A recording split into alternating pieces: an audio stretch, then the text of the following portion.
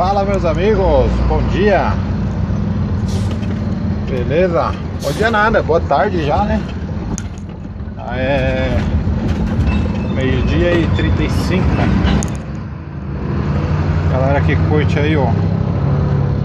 Canal do Gilson BR Joia? Saindo aqui do Pão de Açúcar. Deixa eu inventar a câmera aqui. Aê, agora sim, agora fica bom Saindo aqui do grupo Pão de Açúcar. Os faróis.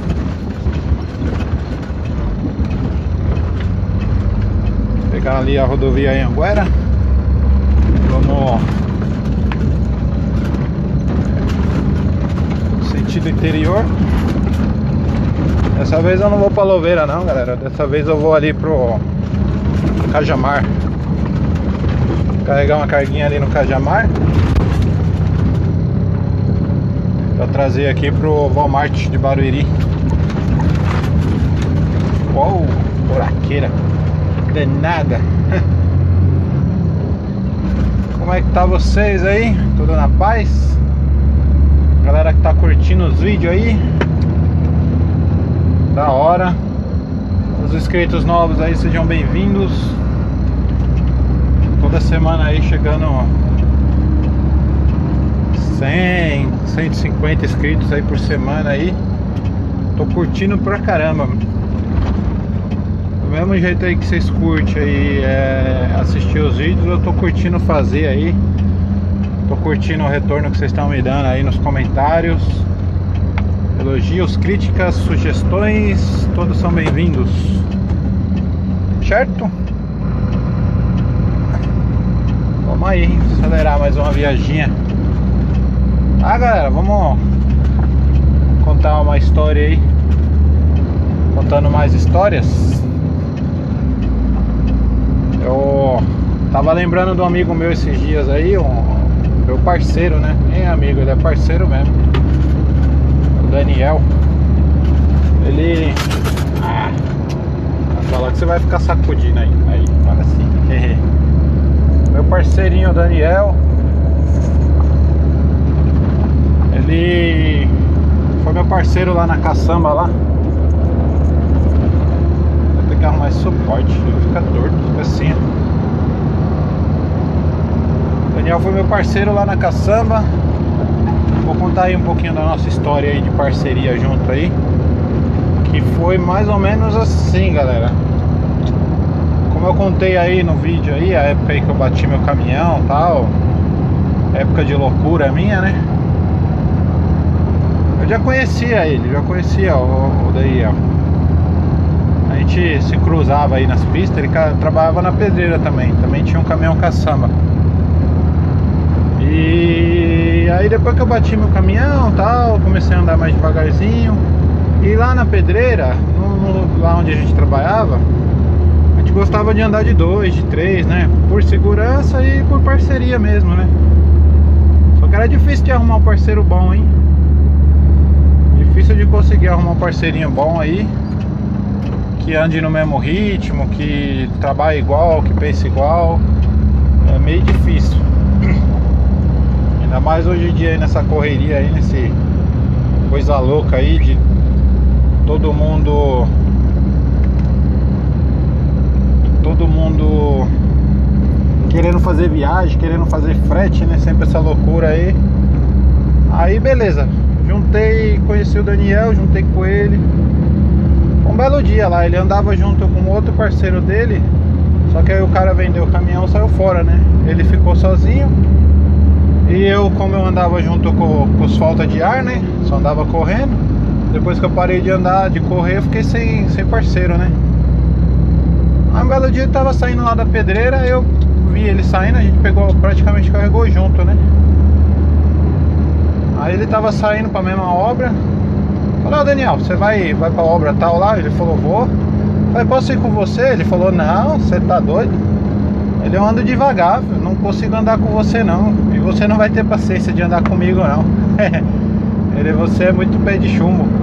Falei, não, não, tô de boa agora, vou andar devagarzinho. Vamos junto aí. Pra gente não andar sozinho. Ah, beleza, você conseguir andar comigo? Ele falou, né? Se conseguir andar comigo, a gente vai. Aí começou aí, né? A gente fez uma viagem junto. Depois fizemos duas viagens junto. E a gente começou sempre a trabalhar junto, né? Começamos aí a, a dupla aí, a parceria. Eu e ele. Aí a gente começou, trabalhava junto, fazia junto, carregava as mesmas viagens, fazia as mesmas quantidades de viagem, ia para as mesmas obras. E era bom, galera. Eu pensei num cara gente boa, mano. Ele é meu amigo até hoje, mano. A gente estamos. Tipo assim, eu, ele, ele vendeu o caminhão depois e saiu do ramo de caminhão, né? Mas sempre que eu posso eu vou na casa dele, a gente toma uma cerveja junto, a gente se fala pelo rádio. A gente tá sempre junto, ele virou meu amigão mesmo. E é o seguinte, aí a gente começou essa parceria aí, andando junto tal, fazia as mesmas viagens, é, andava no mesmo ritmo, a gente combinou tão bem que a gente andava no mesmo ritmo. Ele tinha um caminhãozinho dele, era um, meu era um 28, o dele era um 22. Era um pouquinho mais fraco, mas ia de boa atrás dele, não, não, ele não me atrapalhava, não atrapalhava ele. Quando o caminhão quebrava, ou o meu ou o dele, a gente parava junto na pista, tentava sair do prego, arrumava o caminhão. É... Fazia as mesmas viagens, quando não tinha, às vezes chegava na, na pedreira lá, só tinha uma viagem para uma obra e uma viagem para outra obra diferente. A gente não ia, a gente ficava parado lá, nós dois juntos. A gente ficava lá até sair duas viagens para a mesma obra bagulho era legal, né? Era, era da hora mesmo a gente trabalhando junto, né? E nessa parceria aí a gente ficou na faixa de uns três anos trabalhando junto. Estamos aí três anos trabalhando igual, trabalhando junto.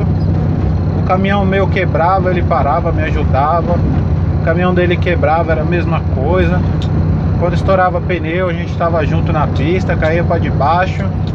Rapidinho nós trocava o pneu, nós dois.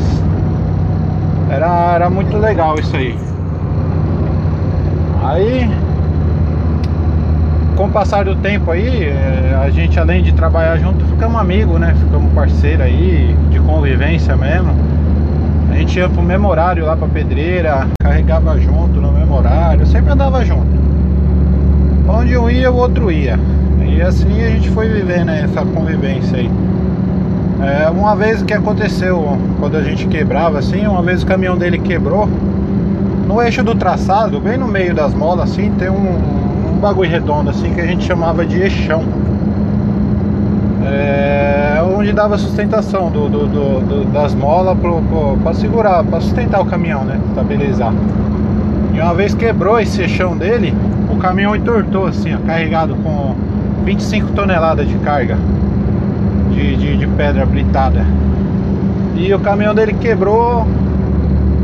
E aí pegou, chama o moleiro, não sei o que, o moleiro chegou lá. Olha só. Eita, nós, viu? Brincadeira.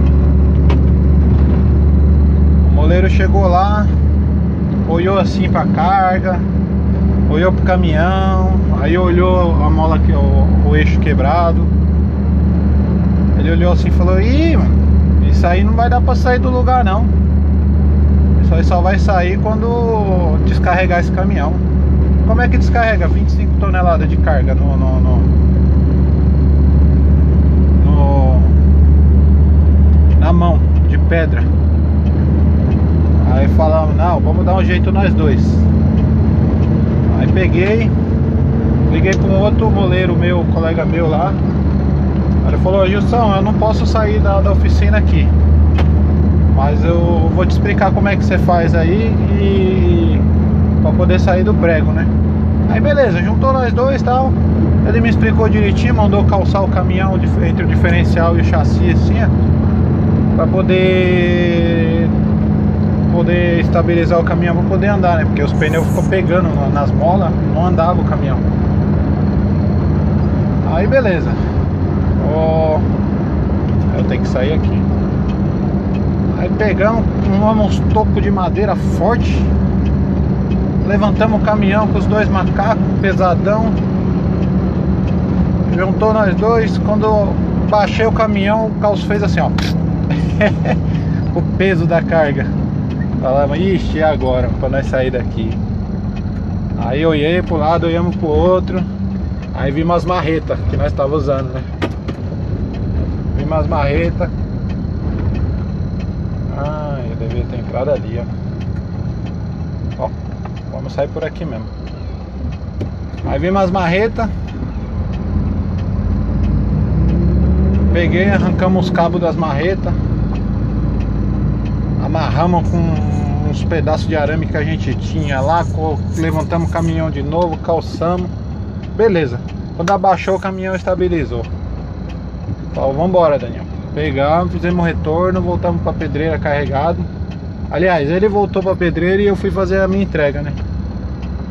Fui fazer a minha entrega. Deixa eu abrir aqui pra poder entrar. E aqui eu entrei errado. Vai deixar eu entrar, tio? Aí. Valeu. Aí ele voltou pra pedreira. E nisso a gente se comunicando no rádio, né? Falou, ó. Qualquer BOzinho você me chama, eu retorno e volto. Ele falou, não, beleza. Aí nisso foi. Conseguiu lá, chegou na pedreira, descarregou o caminhão e foi lá arrumar o caminhão. Isso aí foi um dos casos aí, mas teve muitos. Ixi, quantos BO a gente teve na rua aí? Caminhão tolado na obra, a gente um puxava o outro, caminhão quebrado, pneu, sempre um ajudando o outro. A gente sempre, sempre foi na parceria aí.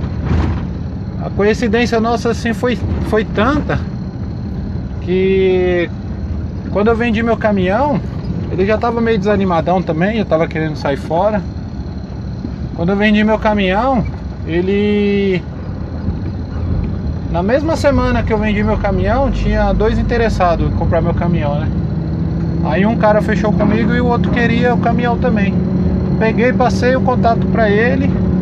Ele negociou com o cara, vendeu, tipo, uma, duas, três, acho que é a quarta rua que eu vou entrar. Vendeu o caminhão dele na mesma semana que eu. O cara que tava interessado no meu caminhão. Mas era legal, mano. Foi, foi uma época boa aí. A nossa amizade aí permanece até hoje. Tamo junto aí sempre. É um cara super gente boa, super amigo. Mas até hoje que ele me chama, às vezes ele precisa de mim, eu preciso dele. Até hoje a gente tá. Tamo junto aí. Tamo trabalhando. Tamo, estamos trabalhando, né? Mas estamos sempre em contato aí. Mas é isso aí, galera. É muito bom aí você fazer um, achar um parceiro bom aí cara que trabalha com o mesmo ritmo que você e tá sempre à disposição aí pro que der e vier. Ah, eu tirei o cinto porque eu vou parar ali agora. Na entrada do condomínio ali. E mas é muito bom isso aí. Mandar um abraço pra ele aí, meu parceirão, Daniel.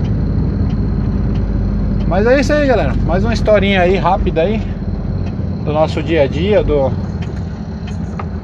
Ué, pode entrar aqui. A faixa branca aqui no chão. Oh. Ah, vou entrar.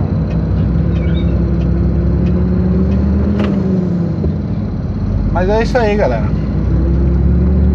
Que nem eu tava falando, é bom você achar um parceiro assim que você consiga trabalhar junto, que sempre te ajuda aí lado a lado. Eu tenho saudade dele aí da, gente, da época que a gente trabalhava. Mas somos amigos aí, tamo junto. Beleza? Mais um trechinho de história nossa aí do dia a dia. Valeu, galera. Um abraço aí. Tudo de bom pra vocês.